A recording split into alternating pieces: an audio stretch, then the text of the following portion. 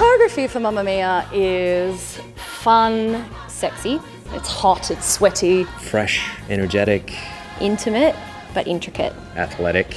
Funky and quite gritty as well. What I've tried to do is make it as dynamic and explosive as possible. and it really kind of blends lots of different styles. This is definitely you know a fresh take on some of the bigger numbers that people might remember from the older production.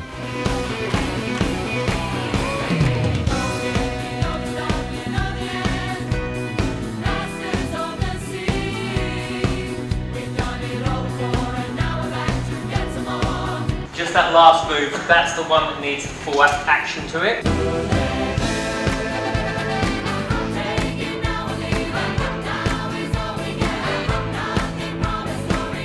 Rehearsals were high energy, which was awesome because we knew it was new and reimagined. If you've got something that already exists, which is a huge success, and you get to look at that and you get to give it your own spin. Daunting in many ways, but very exciting.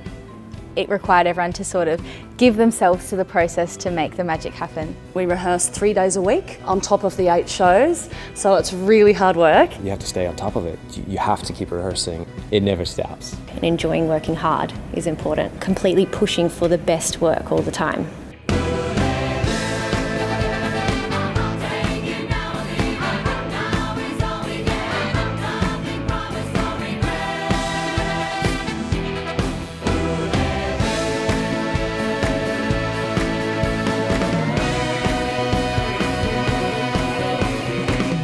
The cast, they are all fantastic movers. They all can move their bodies wonderfully to this music. We have a lot of fun on stage. Partying and dancing and just enjoying ourselves.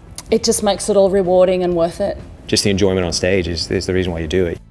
A willingness, a drive to, to really inhabit the movement.